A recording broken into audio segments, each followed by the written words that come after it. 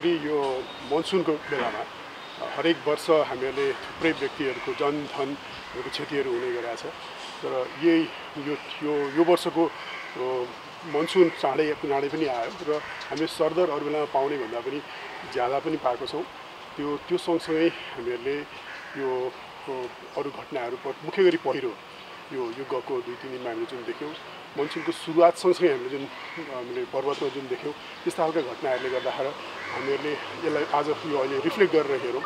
हामीले के भइरहेछ हाम्रो पूर्व तयारी तयारीको कार्यक्रमहरू हामीले के गरेका छौँ त्यो चिजमा हामीहरू अझै कसरी सुदृढीकरण गर्न सकिन्छ कसरी जनताहरूको बिचमा हामीले यसको तुरुन्तै राहत पुनस्थापना गर्ने चिजहरूलाई यथाशक्य जस्ट इन टाइम कति छिटो पुर्याउन सकिन्छ भनेर हामीहरूले सबै मन्त्रालयहरू बिचमा सुरक्षा अङ्ग अङ्गहरूको बिचमा र अन्य सम्बन्धित अरू मन्त्रालयहरूलाई पनि बोलाएर आज सोमानीजीको अध्यक्षतामा चौथो राष्ट्रिय विपद जोखिम न्यूनीकरण तथा यो परिषदको यसको बैठक भएको थियो सोमानीज्यूले अगाडिको दिनहरूमा यो यो आज यो दुई तिन दिनभित्रै जुन फोरकास्ट गरिएको छ त्यो अहिले तुरुन्तै सकिनेवाला छैन यो झर झरिसके तापनि त्यस पछाडि फेरि आउने बाढी र यो अबको अर्को दुई महिनासम्म पनि यस्ता बाढी र पहिरोले आक्रान्त पारिरहन्छ त्यसको लागि हामीहरू हरेक जिल्लामा हरेक स्थानीय तहमा हामीहरू त्यहाँ नजिकै भएका इन्स्टिट्युसन्सहरूमा गएर अहिले भएका सामग्रीहरूलाई पनि त्यहाँ लगेर प्रिपोजिसनिङ गर्ने र यथाशक्य छिटो समयमा हामीहरूले त्यसलाई पुर्याउने हिसाबबाट पूर्व तयारी गर्नलाई उहाँले निर्देशन दिनुभएको छ।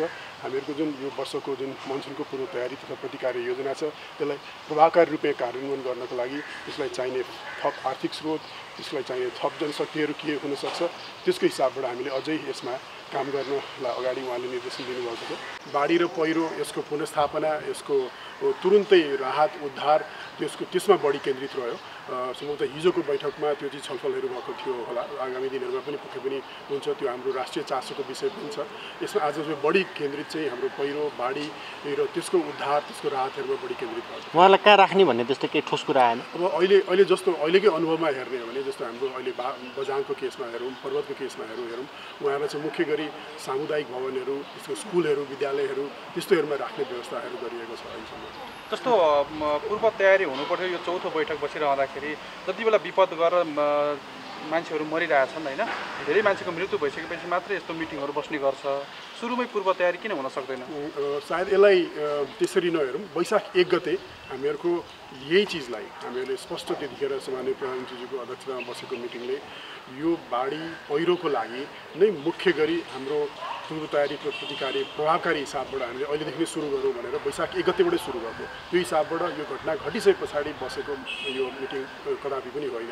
त्यस पछाडि पनि यसको पूर्व तयारी प्रतिकारी योजना हाम्रो हामीले सहकार्य गरेर बनायौँ। थुप्रै थुप्रै संस्थाहरूसँग मुख्य गरी विभिन्न मन्त्रालयहरू यसका संयुक्त राष्ट्र सङ्घका विभिन्न यसका संस्थाहरू युएन एजेन्सिजहरू त्योसँग अरू डेभलपमेन्ट पार्टनर्सहरू सुरक्षा अङ्गहरूसँग हामीले बस्यौँ। त्यो सँगसँगै हामीले थुप्रै थिमेटिक मिटिङ्सहरू गऱ्यौँ बाढीको लागि छुट्टै गऱ्यौँ पहिरोको लागि छुट्टै गऱ्यौँ त्यसको अर्ली वार्निङ सिस्टम्सहरू त्यसको लागि छुट्टै हामीले मिटिङहरू गरेर थुप्रै राउन्ड्स अफ मिटिङ गरिसके पछाडि अनि हामीले त्यसलाई हामीले असारमै यो असारको सुरुवात लाग्दाखेरि हामीले यसको पूर्व तयारी प्रतिकारी योजना चाहिँ हामीहरूको कार्यकारी समितिको बैठक बस्यो। माननीय गृहमन्त्रीजीको अध्यक्षतामा त्यसले यसलाई पारित गर्यो। त्यो पारित गरिसके पछाडि यो तिसा त्यो हिसाबबाट हेर्ने हो भने यो त यसको यसको चाहिँ अहिले सुरुको यो टेस्ट केसेसहरू जस्तो पनि भयो। हामीहरू अझै अझै प्रभावकारी कसै हुनसक्छ? त्यो कार्ययोजनाहरूलाई हामीहरू त्योमा थप के गर्न सकिन्छ यसपालिको जुन अलिक परिस्थिति हेरेर त्यो हिसाबबाट बसेको बैठक हो। यो घटना घटिसके पछाडि मात्र बसेको बैठक होइन।